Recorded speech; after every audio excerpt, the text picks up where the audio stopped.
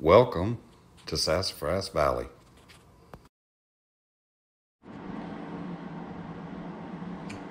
So this is the uh, Shopsmith circle cutting attachment. It uh, bolts onto the table extension.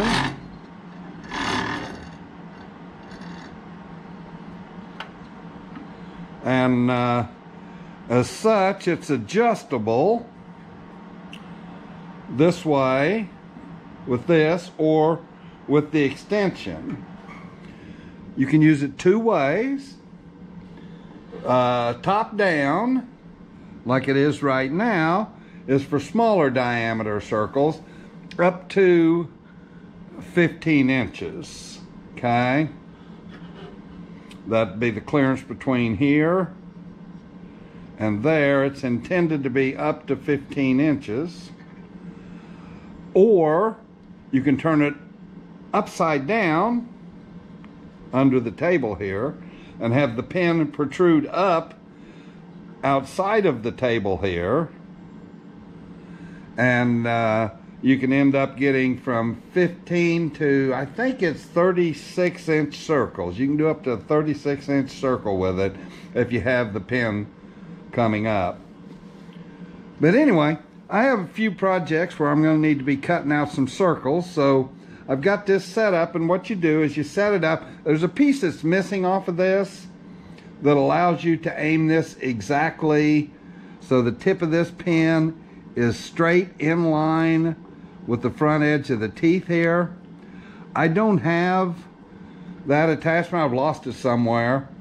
So uh, it's, it may cut off just a little bit, but if anything, it'll, it'll favor to the outside because I'm in front of the teeth. So it'll favor a larger circle. Uh, on a circle this size, it shouldn't be a problem. If I was cutting a real small circle, it might pinch the blade.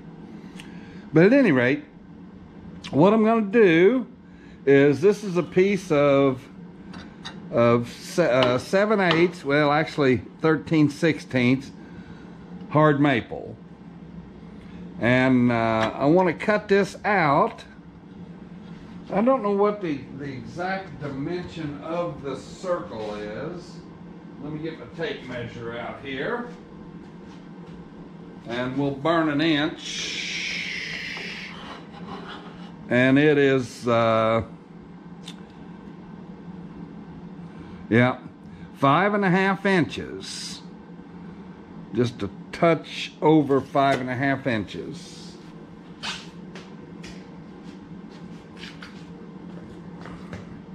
Uh, so I need to move that out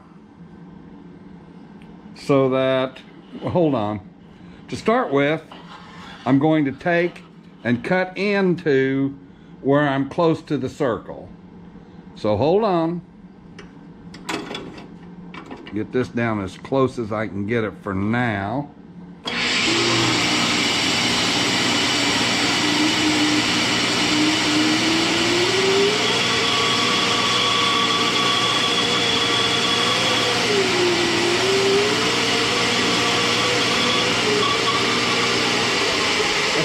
not bad there. So, going to move this in. Uh, what did I do with my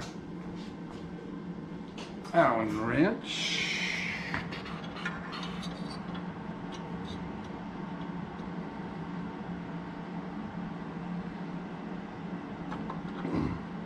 Okay. I'm going to move this in to where my center point. I'll bring this up where it's kind of halfway level.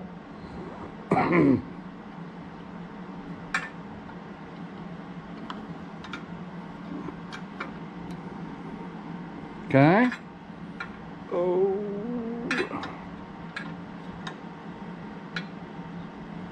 Whoops. Tighten this first. That'll square it up and then tighten this and that'll lock it in place so now I can take this and turn it down and make it tight. I usually cheat just a little and lift up on this to put some tension down and then lock it in place. Should be able to cut. Couple things to know is that for small circles like this, you want a quarter inch blade. Uh, I think over, over about a 15 inch circle, that's when you can go ahead and start using like a 3 8 blade or something like that. You can cut full thickness from as thin as you want to be up to the full six inches worth of uh, uh, clearance that you have underneath the saw here. So I'm going to turn this on and uh, uh, cut. Now I've got to go nice and slow. Uh, if you put if you hog it too much, it may try to drift on you, but it should just follow the outside edge of that line pretty well all the way around. See how we do.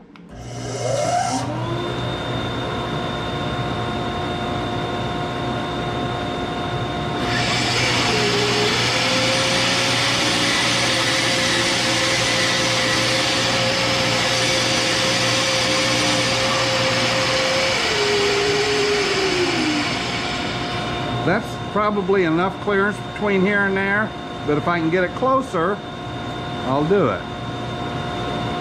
And there I can still see where what it's cutting.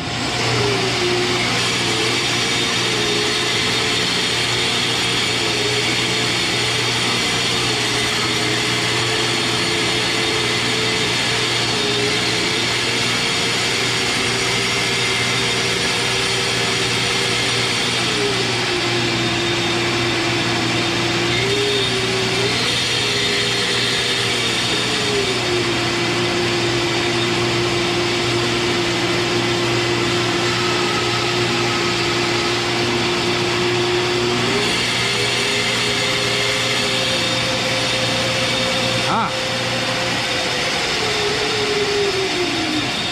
The center point jumped on me. Hold on. I didn't have it in the center. It's tracking off. My mistake. Should be easy to fix though. Let's see.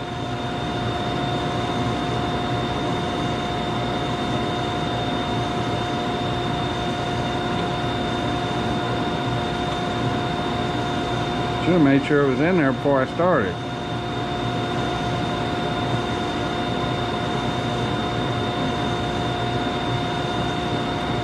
Okay.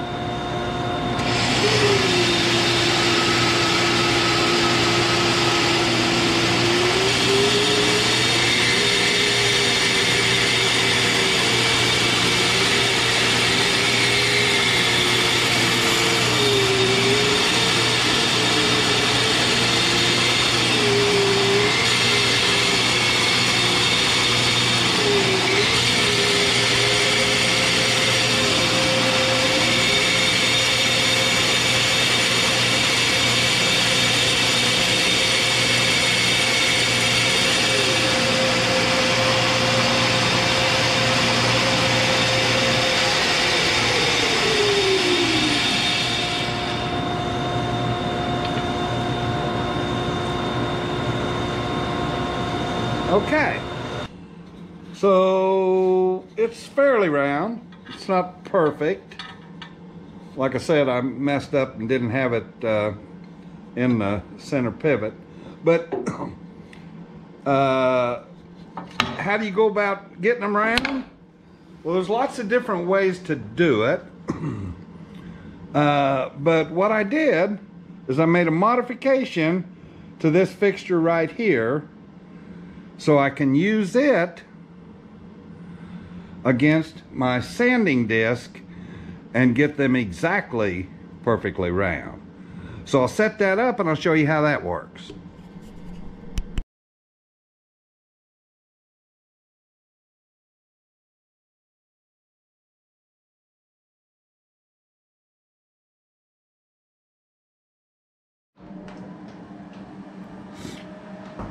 Okay, I want to uh, mount this along the fence here so that I can then put this on and use it to uh, control the spin of the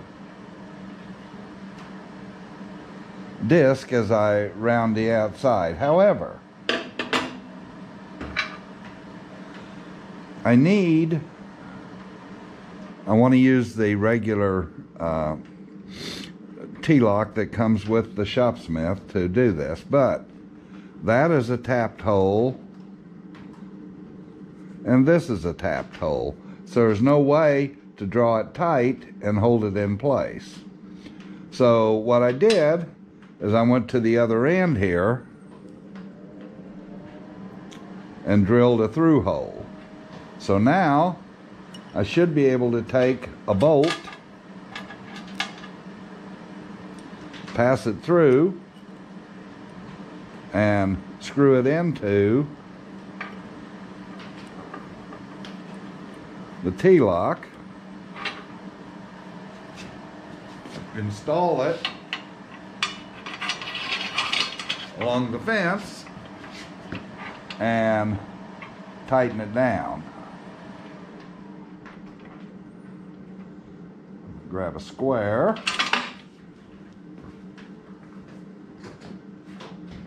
And I'll need to align this, but just for demonstration. Okay. When I get it in place,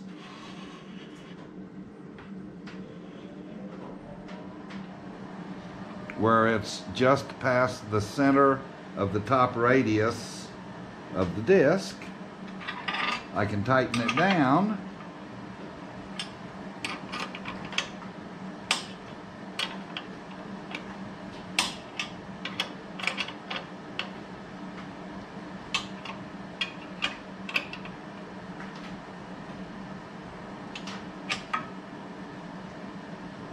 That's pretty tight. That'll do it. So now, I can take the disc and I'll need to put a spacer block underneath it. So I'll just use this other one as a spacer block for now. I'll grab a flat piece in a minute. Okay. And I can install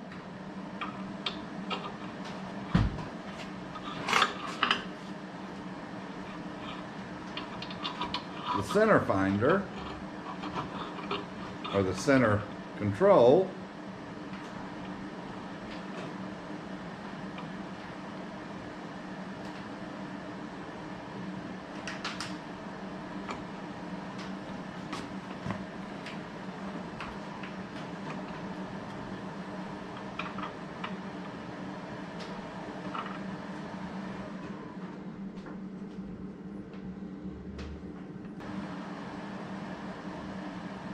There. I can install that in the center pivot hole.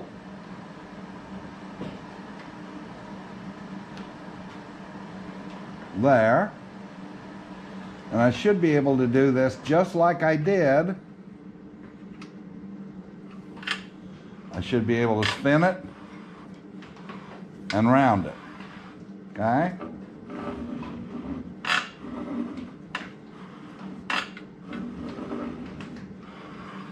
Okay? Should work. Let me uh, get this all set up and uh, we'll try one.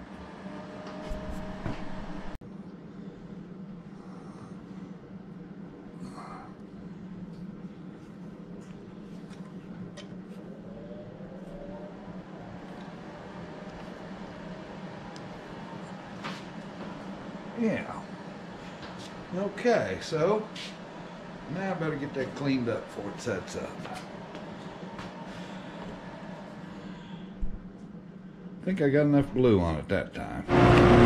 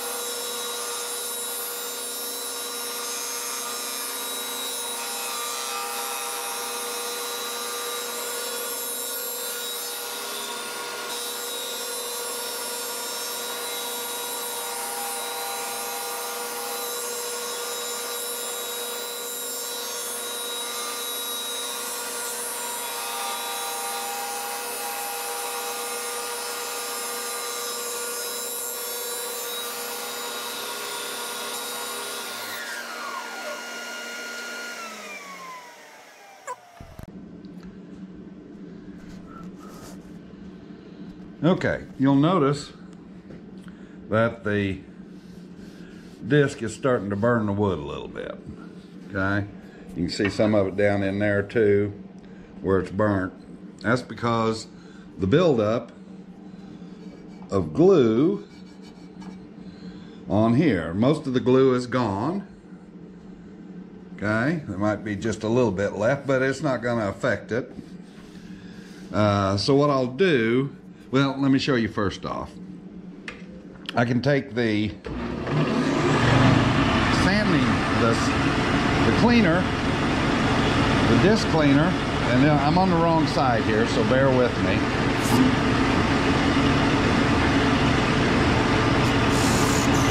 Okay, see I can clean the dust off of it real easy, but that glue ain't coming off.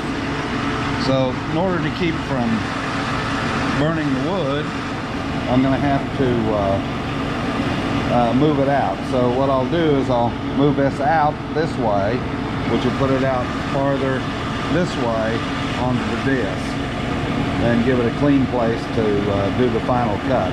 I have less than an eighth of an inch to cut here. Okay. So let me get that set up and then we'll uh, finish the uh, rounding. We've got just a little bit here in one place where it's not matching up, but every place else I've got a nice round outside diameter. I'm also going to slow it down just a little bit, see if I can stop some of the burning. Uh, not much. I'm setting at uh, G, which is 1450 RPMs. And I'll slow it down to about 1300.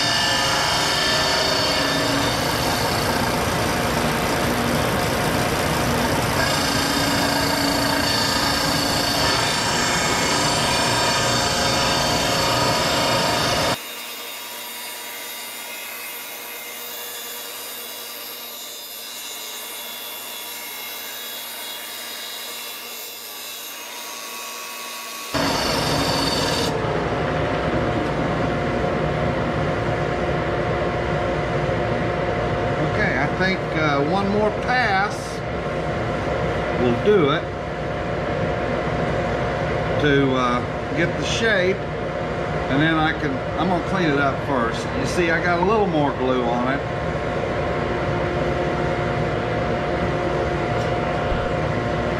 But part of that's also the fact that it's pine and has, has uh, pitch in it. So, southern yellow pine.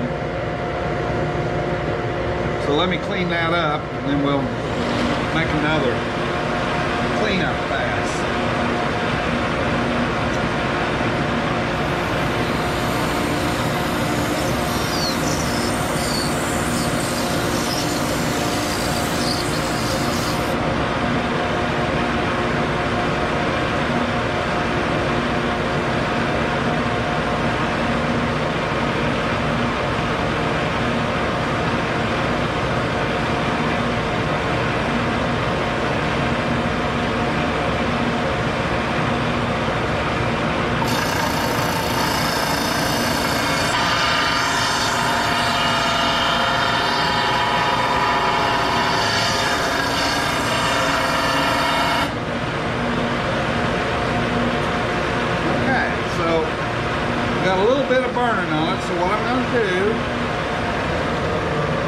Move this one more time, find a clean place, and take a really, really light cut. Take a really, really light cut so that it doesn't, uh, I'll put it right here in between the two. I got a strip right there I can hit. Uh, so that it doesn't, uh, so it's got a nice smooth surface. Because there's a few places along here where it's uh, a little burnt. That's not there, that's pitch. You see there's a little burning in there. Little dab in there. So I'll go ahead and get this uh, cleaned up and uh, we can go from there.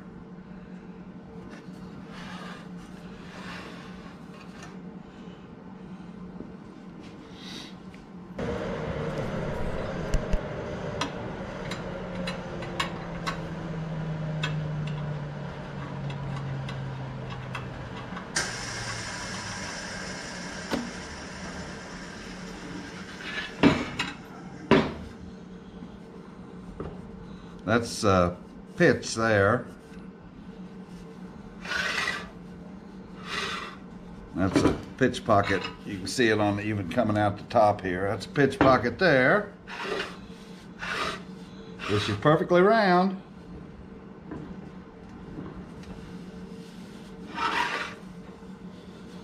Okay. And concentric with the center mark. I like it. It's uh, won't replace routing on everything, but it would replace it on uh, doing doing circular plates for me. This simple modification to the bandsaw circle cutting jig really worked out slick for me. Solved a problem I'd dealt with for some time. Hope you stay tuned. This is the first in a series of three videos on a project I'm working on.